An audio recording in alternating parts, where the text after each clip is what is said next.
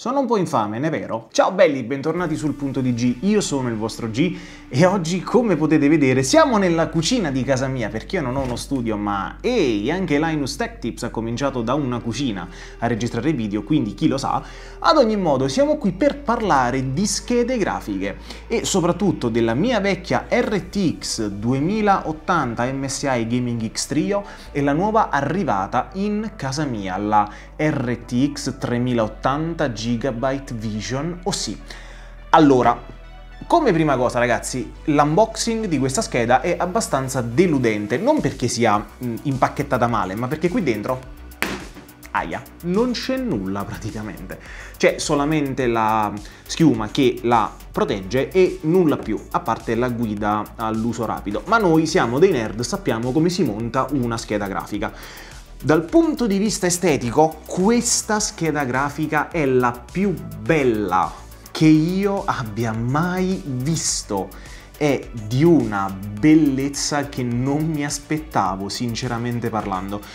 Io ho mh, sempre adorato il design di MSI perché è comunque un pochettino più tamarro, diciamo, un po' più Uh, sapete, grezzo, un po' più da uh, giocatore guerriero, quelle cose lì, ma ragazzi la Vision OC è decisamente bella bella bella. In fatto di dimensioni, invece, se io la metto qui, a parte che ha il fondo squadrato, quindi si mantiene in piedi da sola, le dimensioni sono praticamente identiche a quelle della 2080 in fatto di altezza. Se invece la mettiamo di lato, la 2080 è leggerissimamente più uh, spessa, ma saranno ma sarà forse 4 mm più spessa. Per quanto riguarda invece la parte frontale, se no, anzi non faccio della parte posteriore, faccio dei due backplate che sono bellissimi, se la giriamo così, la 2080 è più spessa della 3080, ma sempre davvero di poco. Per quanto riguarda la parte frontale invece, vediamo che la 2080 è un pochettino più sporca per quanto riguarda il design, ma appunto è il design del drago di MSI, sapete tutte queste cose mh, davvero poco eleganti ma che a me piacciono davvero tanto, il fatto che ci sia il drago argentato qui, eh, il LED RGB qui è molto molto bello, infatti avere la, questa scheda in verticale ragazzi è bellissimo davvero, nel vostro case fa davvero la sua porca figura. La Vision OC invece è estremamente pulita, come potete vedere da qui è estremamente pulita, non c'è nulla, c'è solo un LED che è appunto la scritta Gigabyte qui di lato, se mette a fuoco, la scritta Gigabyte che si illuminerà una volta inserita nel vostro case e nulla, è semplicemente molto molto elegante. Per quanto riguarda il sistema di alimentazione, abbiamo su entrambe le schede due connettori da 8 pin cosa molto molto brutta perché avevo ordinato tre cavi slid perché ero in procinto di prendere la 3080 Asus Strix ma ok, poco male, ho trovato questa scheda, quindi questa qui ho preso. E che vi devo dire, sono sicuro che nel frattempo voi abbiate visto un po' qualche b-roll, ma io sono impressionato dalla fattura estetica di questa scheda. Io vorrei farvi vedere il backplate, ragazzi è bello, ma davvero bello. Cioè io questa qui la metterei, se non la usassi nel PC, la metterei così, di lato oppure così da qualche parte in casa perché è davvero davvero bella. Che dire, io adesso passerò qualche giorno a testare la scheda su giochi, su programmi di produttività quali Premiere perché uso Premiere per editare i video e soprattutto in streaming perché ci vorrò streamare con questa scheda grafica e vedere un pochettino come si comporta gaming e streaming allo stesso tempo. Quindi ci vediamo tra qualche giorno e ciao!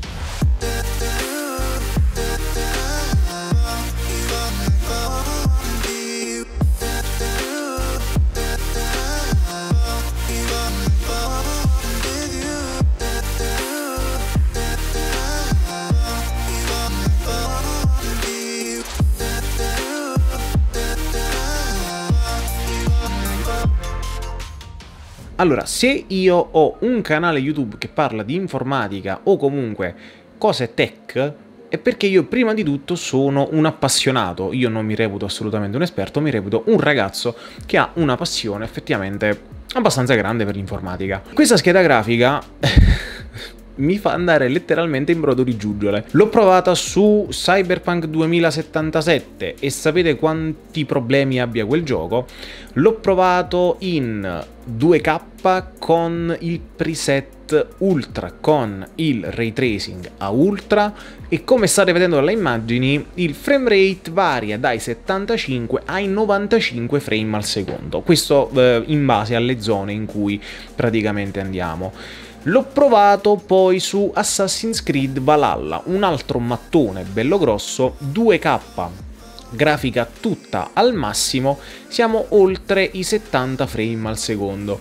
Quindi probabilmente mm, Cyberpunk non è il titolo peggio ottimizzato di questa generazione, basti vedere Valhalla che effettivamente è un gran bel mattone. Poi l'ho voluto provare su altri due giochi che sto giocando abbastanza in questo periodo. Uh, il primo è uh, Call of Duty Cold War nel multiplayer perché lo trovo estremamente divertente. Vi posso dire che questa scheda grafica supera ampiamente il refresh rate del mio monitor. Il mio monitor è un 2K 144 Hz, questa scheda grafica mi fa arrivare a volte anche sopra i 200 frame al secondo. Ecco perché ci sarà una sorpresa nei prossimi giorni per quanto riguarda il mio monitor.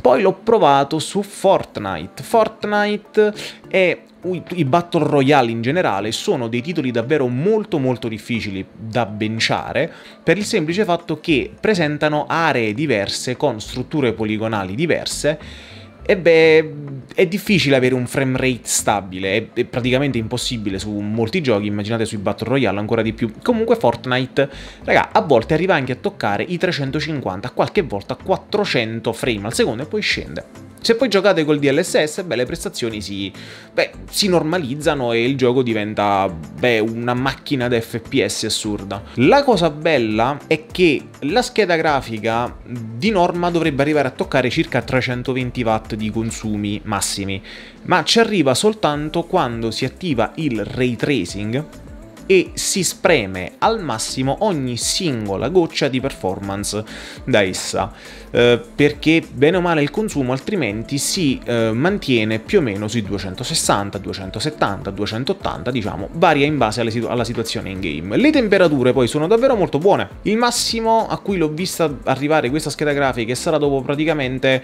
tre quarti d'ora di gioco su Fortnite, Warzone e Cold War 72 gradi.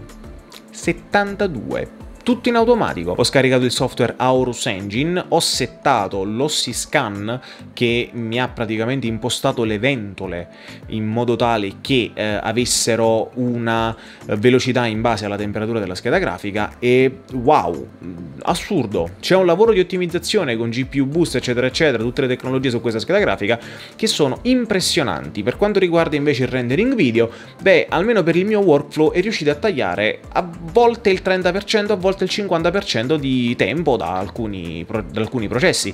Ed è una cosa davvero incredibile, secondo me, credetemi. Per quanto riguarda lo streaming, invece, Beh, io non ho fatto nessuna prova di streaming perché gli streaming ci saranno... Oggi è giovedì 7 gennaio quindi ragazzi domani alle 15 sul mio canale Viola ci sarà una prova di streaming, qualche benchmark in live, si bencia e si streama allo stesso tempo per vedere come si comporta questa bambina. Io devo innanzitutto ringraziare un utente, un amico del canale, Ugo, Snatch976, per avermi dato una mano a trovare questa scheda grafica su Telegram praticamente con qualche bot. Oh, guarda è uscita, te la prendo, pa, mi ha preso la scheda grafica e l'ha fatta arrivare da me. E soprattutto c'è da menzionare As Away che eh, qualche giorno fa, qualche tempo fa, sul canale Viola, appunto, eh, dissi, guardate, c'è qualche aggiornamento per quanto riguarda la scheda grafica, è bianca. Lui subito, pam, è la Vision di Gigabyte. Quindi complimenti ragazzi, GG. Io che vi devo dire, è una scheda fantastica. Mi dispiace che al momento non sia possibile reperirla per i prezzi troppo alti, per le... Eh, situazioni di scarsità di stock, ma ragazzi se volete avere una scheda che vi permetta di giocare tranquillamente in 2K a refresh rate altissimi, in 4K con degli ottimi FPS e in ultra wide 3440x1440, questa qui è la scheda che fa per voi. La 3090 per me non ha senso acquistarla solo per il gaming. Poi ok, la volete acquistare, sono fatti vostri. Io mi trovo benissimo adesso con questa 3080. Vedremo in futuro come si comporterà per quanto riguarda i giochi in uscita. Vi ringrazio di aver seguito il video, grazie mille davvero, sono estremamente contento di averlo registrato, di averlo editato e vi ricordo di mettere un mi piace, di iscrivervi al canale, di accendere la campanella per rimanere sempre aggiornati sui video del punto di G e ci vediamo a un prossimo video, sempre qui sul punto di G, sempre qui col vostro G. Ciao!